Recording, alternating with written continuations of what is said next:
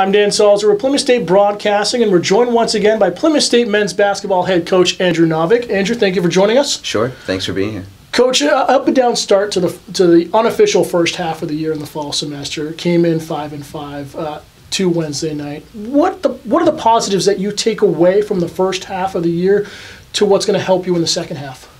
Well, I think the biggest positive is just getting some experience. You know, we, we only brought in, um, only had two seniors on this year's squad and, uh, and a bunch of newcomers, a bunch of guys sort of trying to find their roles. And so, you know, you kind of have to gain some experience and gain some consistency. And, and um, you know, we had some really good wins. Um, we had some tough losses, um, but the so the accumulation of all of that gave us some of the experience that we can build upon.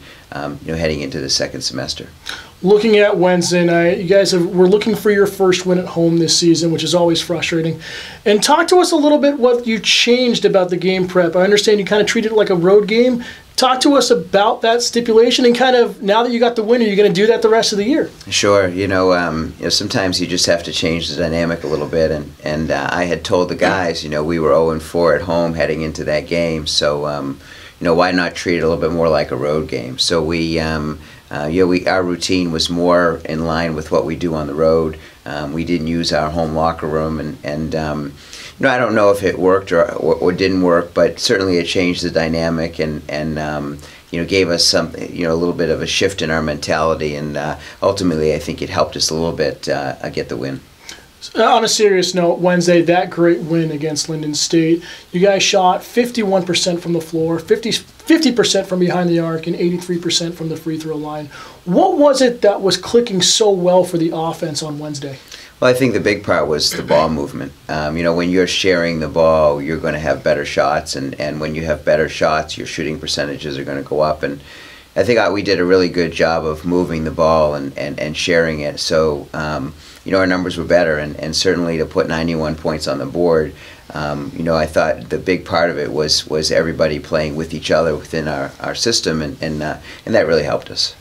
And another serious note, uh, you got the return of Colin Sullivan, the senior captain. What does he bring to the team here in the second half of the year that was missing in the first half? Well, he's a big deal. You know, he's a big deal because he represents a lot of the intangibles that you need in order to, to bind a group together. And, um, you know, we had graduated a kid in Nate Clark and, uh, and another young man in, in uh, Nick McGregor who were sort of what we would call unsung heroes. They did a lot for us. Um, they were never stat stuffers in terms of the stat sheet, but they brought a lot of the intangibles. And, you know, Colin is, is like that, and, and he's really helped us uh, develop as a team and as a program. And, and um, you know, having him back is a big deal. He brings a lot of energy, a lot of excitement, a lot of hustle, and and um, those are the things you need, especially with uh, with a young group of players.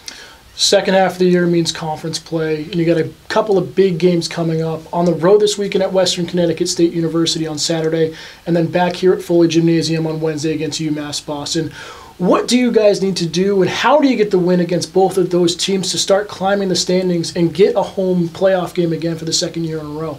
Yeah, you know, it's funny. Uh, this year, the league has proven to be uh, outstanding, and, and uh, there will be no uh, easy game, and we'll be tested, especially in the next two. And, um, you know, I, I think that, that the core principle is is really making sure that we're focused on defending the uh, well, uh, that we're focused on valuing the ball and not turning it over, and then you know as you saw from our shooting percentages, you know sharing it on the offensive end. I think those three things are pretty pretty important for our success, and and um, if we can do those things, then um, then we'll be in every game that we play. Well, as always, Coach, thank you for joining us. Best of luck this weekend on the road at Western Connecticut State University. Thanks a lot.